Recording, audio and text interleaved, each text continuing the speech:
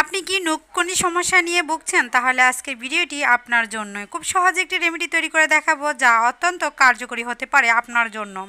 অনেকেরই আছে, অনেক সময় নুকুনি সমস্যা প্রায়ই হয়ে থাকে। একটি নুক থেকে আরেকটি নুকে সৃষ্টি হয়। তো অনেকের আছে, পায়ের নুকে হয়, হাতের নুকেও হয়ে থাকে। তো সেরকম সমস্যার সমাধান পেতে সহজ একটি রেমেডি তৈরি করতে পারেন আপনার বাসায়। অলিভ অয়েল তেল দিয়ে হচ্ছে নুকুনি সমস্যা কীভাবে দূর করতে পারবেন সেই রেমেডিটা খুব সহজেই দেখাচ্ছি। আশা করছি আজকের ভিডিওটি অনেক অনেক ভালো লাগবে এবং অনেকের কাছে অনেক উপকারেও আসতে পারে। আসসালামু আলাইকুম, welcome back to my channel Shahana ব্লগে সবাইকে আবারও স্বাগতম জানাচ্ছি। আমি শাহানা বলছি। আশা করছি যে যেখান থেকে আমার ভিডিওটা দেখছেন সবাই অনেক ভালো আছেন, সুস্থ আছেন। আমি আলহামদুলিল্লাহ অনেক ভালো আছি। আমরা অনেকেই জানি এরকম অলিভ অয়েল তেলের গুণাগুণের কথা, আবার অনেকেই কিন্তু জানি না এই তেলে কত গুণ আছে। সেই নিয়েও কিন্তু আমি রিভিউ দিয়েছি কি কি গুণ আছে আর কি কি কাজে আসতে পারে। এই তেলের উপকারিতা গুণের কথা বলে কিন্তু শেষ করা যাবে না। তো কোনিয়ে নুক বা ফাঙ্গাস দূর করার জন্য আপনারা কীভাবে রেমেডিটা ব্যবহার করতে পারবেন সেটাই কিন্তু দেখাচ্ছি। প্রথমে এখানে নিয়ে নিচ্ছি কুসুম গরম পানি, যেন হাত স্পর্শ করা যায় পানিতে, এরকম কুসুম গরম। বেশি একটা গরম না, যেন আঙ্গুল ডুবানো যায়, সেরকম আন্দাজ করে আমি গরম করে নিয়েছি। সর্বপ্রথম হচ্ছে গরম পানি দিয়ে নুকটাকে পরিষ্কার করে নিতে হবে। এখন এই পানির সঙ্গে আরেকটি উপাদান মিশাবো, যা ত্বকের জন্য অত্যন্ত কার্যকর হয়ে থাকে। নুকুনি এবং ফাঙ্গাস দূর করার জন্য তো এখানে যে উপকরণটি দিচ্ছি সবার বাসায় থাকে, সবার কাছে কমন একটি জিনিস, আপনারা চাইলে সবসময় বাসায় কিন্তু রেখে দিতে পারেন এই উপাদানটি। এটি হচ্ছে খাবার সোডা। আপনারা কিন্তু সামান্য পরিমাণ খাবার সোডা সবসময় বাসায় রাখতে পারেন নুকনি ফাঙ্গাস দূর করার জন্য। তো আমরা তো কেক আইটেমে ব্যবহার করে থাকি। অনেক কিছু মানে ফুলানোর ক্ষেত্রে কিন্তু ব্যবহার করে থাকি এই খাবার সোডাটা। আর খাবার সোডা দিয়ে কিন্তু অনেক কিছু করা যায়। ক্লিনিং কাজেও কিন্তু টিপসে শেয়ার করা যায়। তো আমি অনেক ভিডিও দিয়েছি খাবার সোডা দিয়ে কি কি কাজ করা যায়। চাইলে ওই ভিডিওগুলো আপনারা ভিজিট করে নিতে পারেন। এখন হচ্ছে কীভাবে নকুনিয়ত বা ফাঙ্গাস দূর করতে পারবেন সেটা কিন্তু আমি দেখিয়ে দিচ্ছি। গরম পানিতে খাবার সোডা দিয়ে নিচ্ছি সামান্য পরিমাণ। তারপর হচ্ছে যেই নুকে আপনার সমস্যা আছে বা যেই কয়টা নুকে আপনার সমস্যা আছে, প্রত্যেকটা নুকে হচ্ছে এরকম গরম পানি আর সোডা মিশ্রিত পানিটা ভালো করে নুকে এভাবে দিয়ে মাসাজ করবেন। দুই থেকে তিন মিনিট পর্যন্ত মাসাজ করে নেবেন। তারপরে দেখবেন আস্তে আস্তে তার জীবাণুটা নষ্ট হয়ে যাবে। তারপর হচ্ছে আরেকটি রেমেডি তৈরি করে দেখাবো, যেটা দিলে অত্যন্ত কার্যকর হতে পারে। তো সপ্তাহে একদিন ট্রাই করলে কিন্তু দেখবেন আস্তে আস্তে নকুনি অথবা ফাঙ্গাসের সমস্যাটা দূর হয়ে যাচ্ছে।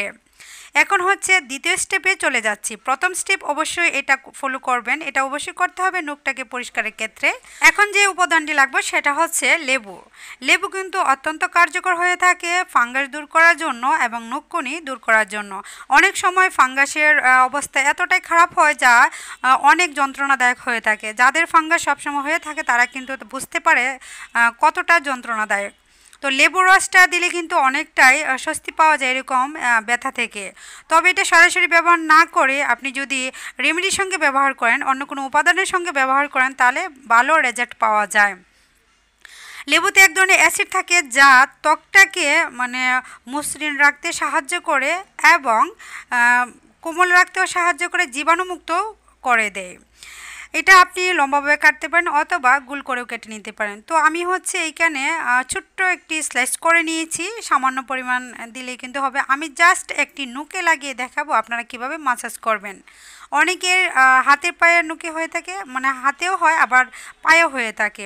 বেশিক্ষণ যদি কাদায় থাকে, তারপরে কিন্তু ফাঙ্গাসের সমস্যাটা বেশি হয়। যারা অনেক সময় জমিতে চাষ করে, তাদের এই সমস্যাটা বেশি দেখা যায়। গ্রাম অঞ্চলে প্রায় মানুষের কিন্তু হয়ে থাকে নুকুনি অথবা ফাঙ্গাসের সমস্যাটা।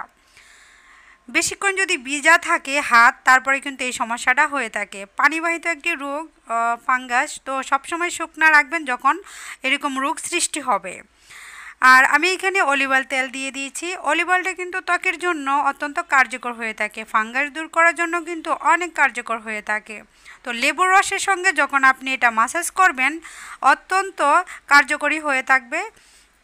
সামান্য পরিমাণ লেবুর রসের সঙ্গে আপনি হচ্ছে তেল মিশিয়ে মাসাজ করতে পারেন অথবা সরাসরি লেবুর স্লাইসটি দিয়েও কিন্তু আপনি আপনার নুকে মাসাজ করতে পারেন।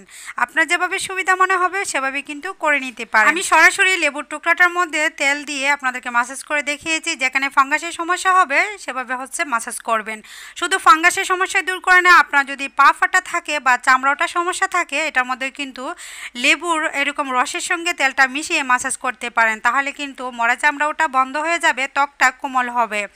আস্তে আস্তে হচ্ছে গ্লোয়িং হয়ে উঠবে এই দুটি উপকরণে দিয়ে যদি আপনি মাসাজ করেন। তো এইভাবে পা ফাটা সমস্যাও দিতে পারেন অথবা যদি চুলকানি, অ্যালার্জি সমস্যা থাকে তারপরে কিন্তু আপনি দিয়ে দিতে পারেন। এই অলিভ অয়েল তেলটি অনেক কার্যকর হয়ে থাকে চুলের যত্নে, ত্বকের যত্নে এবং শরীরের যত্নেও।